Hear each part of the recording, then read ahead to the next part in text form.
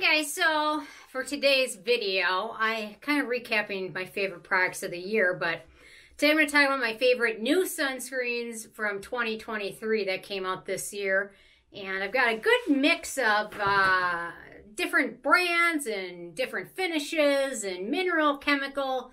Uh, and most of these, I think with the exception of one of them, are all fragrance free. So let me start with my first one that I love from this year, and that's the P Calm Water Barrier Sun Cream, right? Water Barrier Sun Cream SPF 50. This one's really nice. Fragrance free, alcohol free. It's got five chemical filters on it. It's got a really nice um, texture to it. So, and uh, you can apply this pretty liberally without any issues, and it really uh, has a nice finish, a natural finish, I would say. It's not uh, super shiny or greasy and works really well under foundation. And again, uh, lots of good chemical filters in this one, and it one's uh, made in Korea, so they get to use the better filters. And now that I, when I think about all these, I think all the chemical ones I'm going to mention, all of them have at least five chemical filters. And I think of back to uh, Purito with their Centella unscented sunscreen with their two little filters in there. And I think they were trying to advertise that this was as good as some other ones anyway. Okay, next up, Mineral One Untinted, the Summer Fridays Shade Drop SPF 30. Uh, this one's a zinc oxide based sunscreen. It's fragrance and alcohol free. Let me give it a good shake. Uh, I would say it's on the hydrating side. It's got uh, squalane in here. And it works pretty nice under foundations. There we go.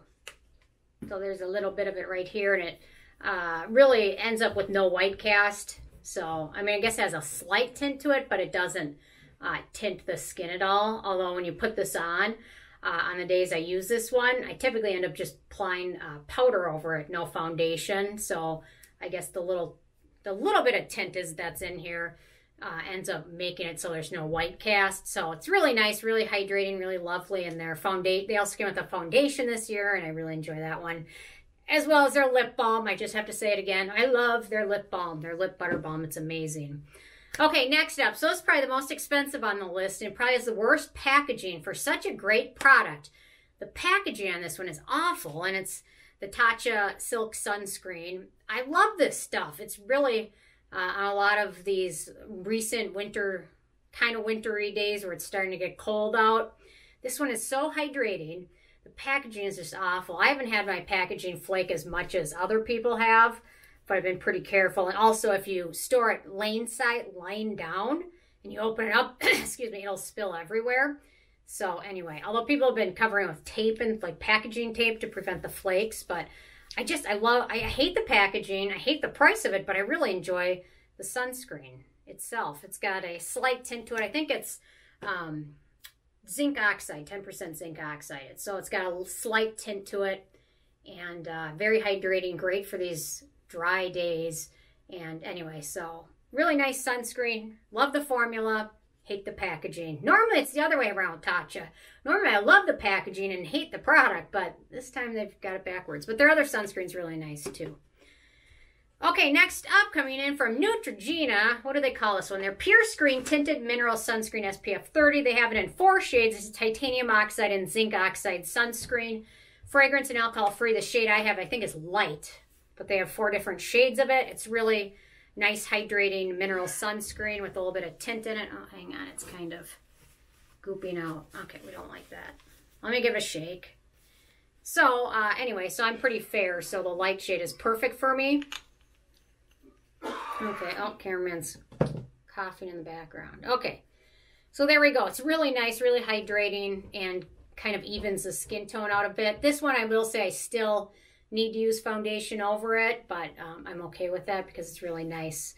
Uh, anyway, so really nice and hydrating, no fragrance in it, which is also really wonderful. So I really enjoy this one.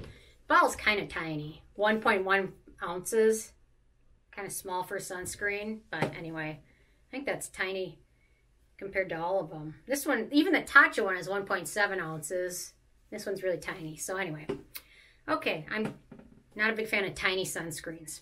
Okay, next up, the Numbuzin Clear Filter Sun Essence SPF 50. Uh, this one is also fragrance-free, alcohol-free. It's a chemical sunscreen with five filters. It's on the hydrating side, so I, if you have drier skin, I think this might be up your alley. Here we go. Here's a little. And I think I've reviewed almost all of these, I want to say, or I've done a full review of all of them. This one's just really nice. Five good filters. I use this one a lot on some hotter days during the summer because it really has a nice uh, matte finish. So very nice sunscreen, chemical sunscreen, no fragrance, no denatured alcohol. Okay, next up, another newer one this year is the Jumiso Ah Sun Airy Fit Sunscreen SPF 50. Another chemical K-Beauty sunscreen. It's pretty darn affordable. I think it's like 11 bucks, I want to say. And it's got uh, five chemical filters in it. So here's a little swatch of it. Uh, no white cast, really nice sunscreen. It's uh, on the hydrating side, but doesn't look or feel greasy. But I will say on days when I when I use this one, I do set it with a little bit of powder, but otherwise it's not terribly shiny or greasy. But uh, anyway, so and uh, there's no tint to it. So what else does it say? Ultralight UVA UVB protection, super affordable. You won't feel guilty using this one. Okay, next up, I got a couple more. The Round Lab Dokdo Sunscreen, SPF 50. This is a really nice one. Round Lab has some really nice sunscreen options, and I've been pretty happy with all the ones I've tried from Round Lab, and this is one of them. So I finished up, what was the last sunscreen I was using a lot? Probably was the Klairs sunscreen. And when I finished that one up, this one became kind of my next go-to. Just, I leave it right on my counter, and it's the one I go to next out of habit, unless unless it's kind of cold or dry outside. So anyway, fragrance free, alcohol free. There we go. Very nice finish on it and uh, works nice under foundation and things like that. Okay, next up. So this one is probably the exception to the rule. This one does contain fragrance. It does contain alcohol, and I still like it. And uh, it's the Beauty of Joseon Ginseng Sun Serum which I couldn't find. It took me like 20 minutes to find this one in my stash of stuff, even though it was like right in front of me. I love when that happens. I will spend 20 minutes looking for it. And like I knew I was just using it yesterday. Where did I set it? And yeah, anyway. So Beauty of Joseon said they included fragrance in it to cover up the scent of the alcohol. There's not a ton of alcohol in here, but I think they did mention somewhere that they're going to make a fragrance-free version of this. So I'd be all over it because I really enjoy the texture of this one. It's got a gel texture so uh, I think it's probably ideal for oilier skin types or for very humid weather. So here's a little swatch of it. The scent isn't terribly strong. I think it's got juniper jasmine oil or juniper oil, and it dissipates pretty quickly, and the gel texture is really lovely. So that is the outlier from all of these, the fact that these were all fragrance free, and then here we go with one with fragrance in it, but I still really enjoy it. They come out with the fragrance free version. I'd be all over it. Uh, and then I've got a couple runners up. The Kosas Dream Beam Mineral SPF. It's got peptides and ceramides in here. It's fragrance free. It's got a really uh, nice tint to it and kind of a serumy texture to it. And it kind of doubles as a foundation. Depends on how how many skin issues you have, like my hyperpigmentation, melasma. It's hard to cover up. So this one uh, kind of evens it out. If I'm at, if I was actually going somewhere important, I'd probably still put foundation on, but it has a little bit of a tint to it, which is nice. So if you're feeling low maintenance, then you don't need that. Next up, the Then I Met You uh, Sun Super, what they call it? Essence Light Sunscreen. This one's made in the U.S. It's fragrance free, but it uses U.S. based filters, but it's still a really nice sunscreen that I really do enjoy. But you know what? We know, especially if you're in the U.S., you know that U.S. filters aren't great especially when it comes to UVA rays, which are the ones that age you. So, yeah, take it or lose it.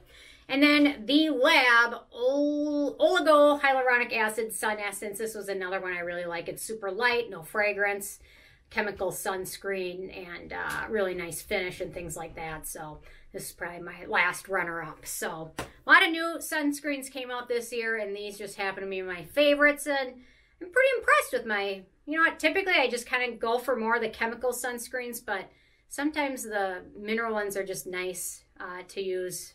And if you have sensitive skin, sometimes the mineral ones end up working uh, to be less sensitizing than some of the chemical filters. So um, anyway, so those are my favorites from the year. Interested from you guys if you have any favorites. Uh, leave a comment. Love hearing from you guys. And stay tuned for more tomorrow. Thanks so much. Bye, guys.